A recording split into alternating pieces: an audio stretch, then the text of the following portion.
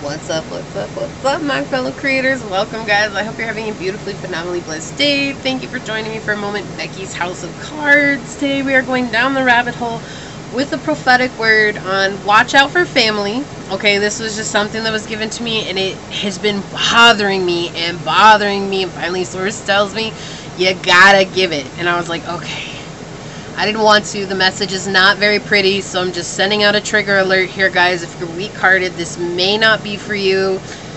So, again, it's just this is for that person who needs to hear it, okay? Please like this video, share this video, subscribe to the channel down below, set that notification bell so you always know when the next video does go live. Knowing that that is a free way to support the channel as well as to connect me with you energetically to get you out more resonating readings, more resonating content, whatever that should be. And I want to send a shout out to my OGs, my new G's, and anybody that allows me your most precious asset, your time. As always, it's an honor, a pleasure, a blessing being here, giving you guys these messages. And my prayer, as always, is that any of the videos of mine that you choose to watch happen to fall upon your heart in a way that reminds you to use your intuition, to use your discernment, to take back your power, and to make the decisions that serve your highest journey in this here, now, now, here moment. So let's get into it. Uh, so, watch out for family. There's somebody in your family that's very masculine. Okay, again, when I say masculine, I'm not saying it's a male or it's a woman or female, but it's just somebody who's masculine by nature. And you guys understand those traits, right? Somebody who's very stern and hard and cold and you know not everybody has these but it's very masculine. It could be a masculine sign that we're dealing with libra gemini aquarius leo sagittarius aries. It doesn't have to be but it could be. Um, they're very masculine and behind closed doors okay this person is very ruthless when it comes to you. And they've been very ruthless behind closed doors but they haven't said anything to your face and something's going to break where this person is going to come through and they're basically going to tell you that you're worthless.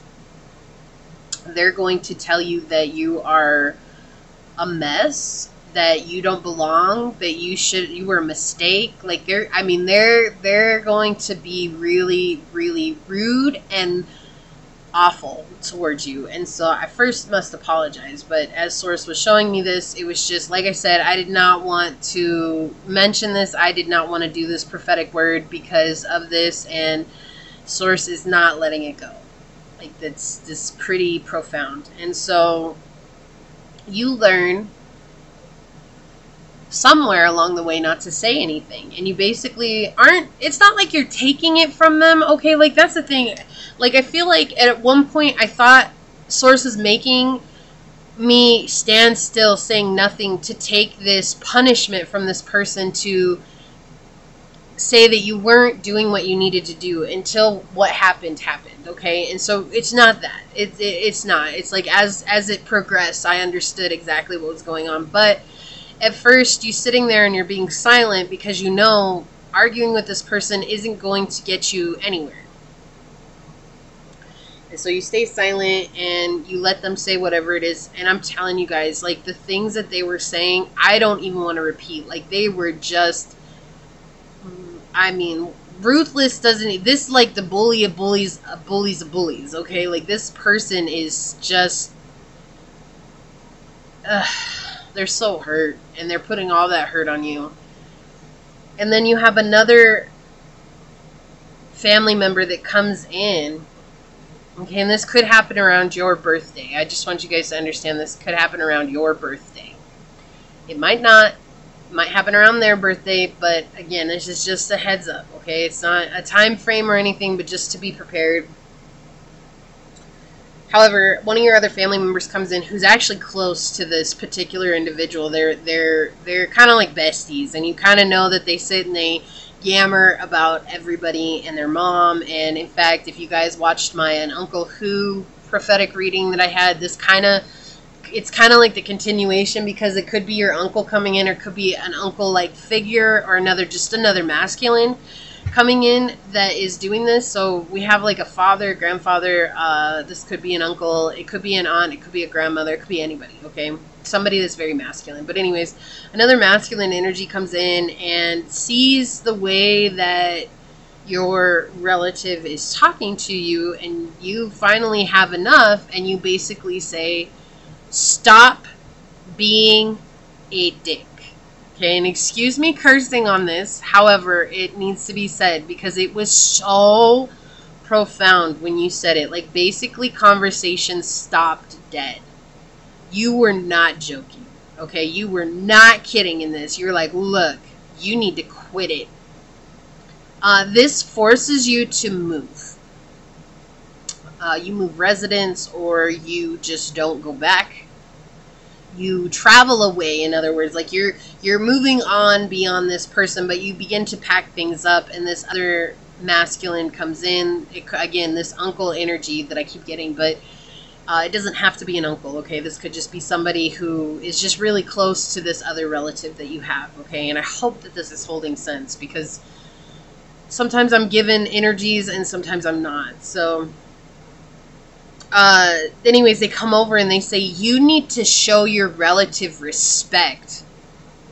And then they just walk away from you. Like, they don't even let you have any words because that's the thing. This, they know they know that you've come like whoever this message is for you guys have come very far in the spiritual journey and you don't let people walk all over you. And that's why in the beginning i really felt like you were being a doormat and it wasn't you weren't being a doormat it's just that for so long this person has been this way and there's nothing that you could have done about it. It was like basically you have accepted that this person is as they are and there's nothing that you can do but you knew that you had to stand up for yourself and that's why you said that one line however it is that you say it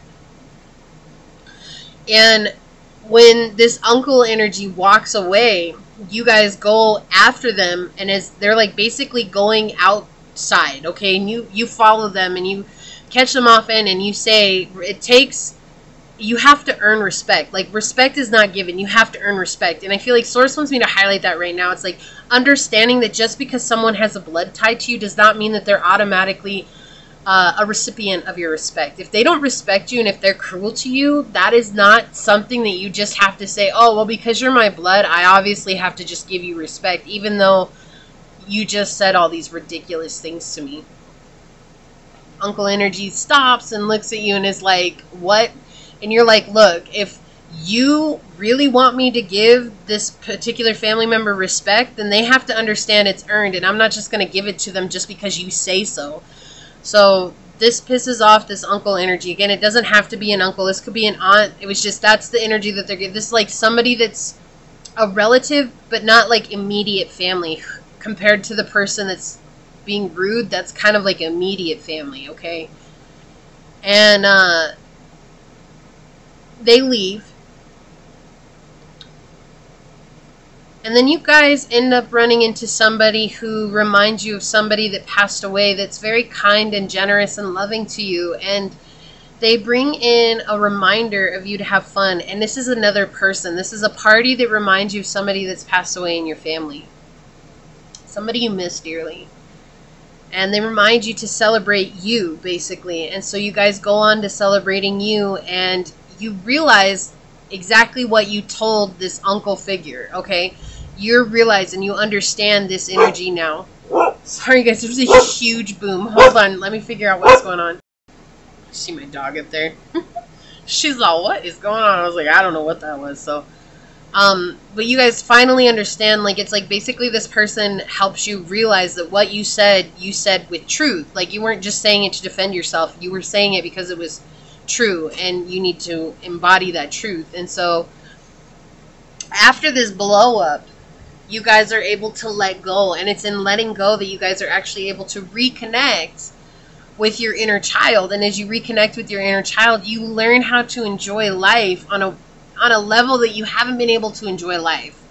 Okay, I'm not saying that riches are coming. I'm not saying like that. What I'm saying is that you guys are beginning to understand what it is to go and be goofy and be silly and to be yourself and to you know, do those things that you loved to do as a child, whether that was singing and dancing or it was interesting because the energy that they gave me was this ball pit and it was full of kids and playing with this like bubble gun and it shot out like soap suds and everything. I mean, it was I was a lot of fun. I was so sad when when the vision went away because I was like, I am having so much fun. Like I don't want to leave. And so that source is just stressing like you guys understand that as you stood up for yourself, now you guys are going to be able to embody a new being of yourself. It's like a raised vibration of yourself. And you're going to understand that just because somebody's blood doesn't mean that they deserve A, your time, nor your respect. They deserve your forgiveness because you deserve the forgiveness to free yourself from them. That that doesn't mean that you're inviting them back into your life and it just allows you to let go in a way that you haven't been able to let go before. And it's actually really beautiful. So again you're going to have this period of hardship.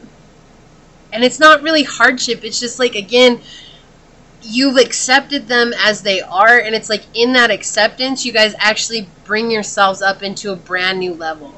So this is a really wonderful energy that's coming in. And again i just didn't want to talk about it because things that this person said, and I'm not going to repeat them because it is.